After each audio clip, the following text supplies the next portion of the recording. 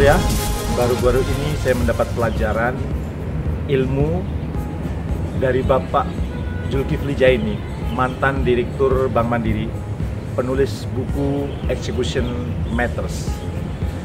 Bapak Zulkifli Jaini mengatakan bahwa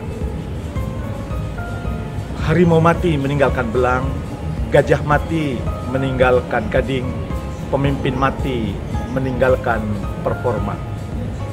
Agar kita memiliki performa yang hebat, maka kita perlu menyusun rencana yang akurat. Rencana yang sesuai dengan lingkungan bisnis yang sedang tumbuh.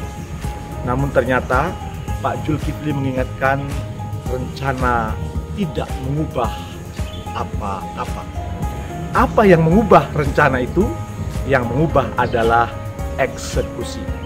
Oleh karena itu, apabila kita ingin memastikan bahwa tim kita bekerja, tim kita mengejar target yang telah disepakati, kita perlu memastikan bahwa eksekusinya berjalan dengan sangat baik. Bukan hanya sekedar ada di rencana, tetapi nyata dalam eksekusi. Ternyata eksekusi yang baik itu juga harus didukung dengan kolaborasi.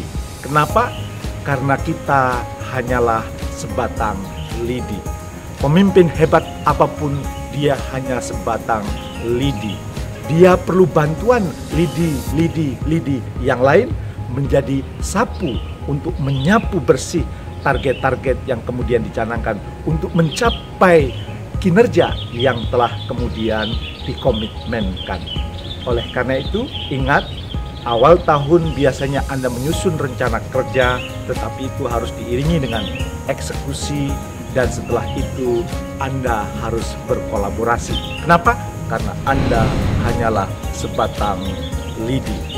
Bila tiga hal ini kemudian konsisten Anda lakukan, maka insya Allah ketika Anda pergi meninggalkan tim Anda, Anda meninggalkan kinerja. Anda pemimpin benar-benar memimpin.